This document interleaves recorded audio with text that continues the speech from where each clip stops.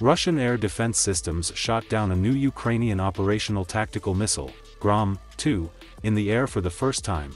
During the day, one Grom-2 operational tactical missile, three rockets of the HIMARS multiple launch rocket system were intercepted, two Ukrainian unmanned aerial vehicles were destroyed in the areas of the settlements of Novoandriivka and Zeleny Gay of the Donetsk People's Republic. Following the fall of the USSR, the Ukrainian design firm Yuzhnoye, Dnipro, created the operational tactical missile system known as GROM. The project was first presented in 2013.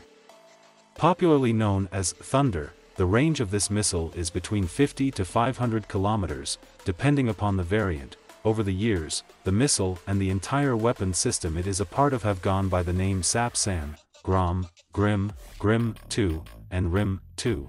The 10-wheeled TEL that can carry two containerized missiles at a time and other parts of the entire system appears to have been built under a wider initiative known as SAPSAN. There appear to be domestic and export-specific modifications of the missiles and or systems referred to by the nomenclature GROM, GRIM, GRIM, 2, GRIM, 2. All of the spelling variations translate as Thunder, Thunder, 2 in English. The GROM, 2 is a surface-to-surface, short-range ballistic missile with a range of about 280 kilometers.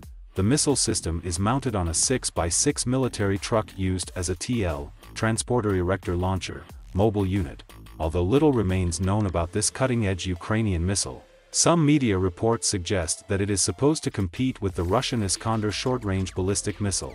Some reports also suggest that the development of this missile has been financed by Saudi Arabia, it has been claimed that Saudi Arabia paid roughly $40 million in covert research and development funding for the Grom-2 project. Ukrainian armed forces are yet to confirm whether the missile was deployed or has been shot by the Russian air defenses. Military expert Vijainder Thakur says that Grom-2, not to be confused with Russia's Grom-E2 glide bomb, features a 480 kg warhead 500 km range, sufficient to strike critical targets in Russia if Ukraine has managed to set up production facilities for the missile within or outside Ukraine, Russia may experience more frequent and deadlier attacks on its territory.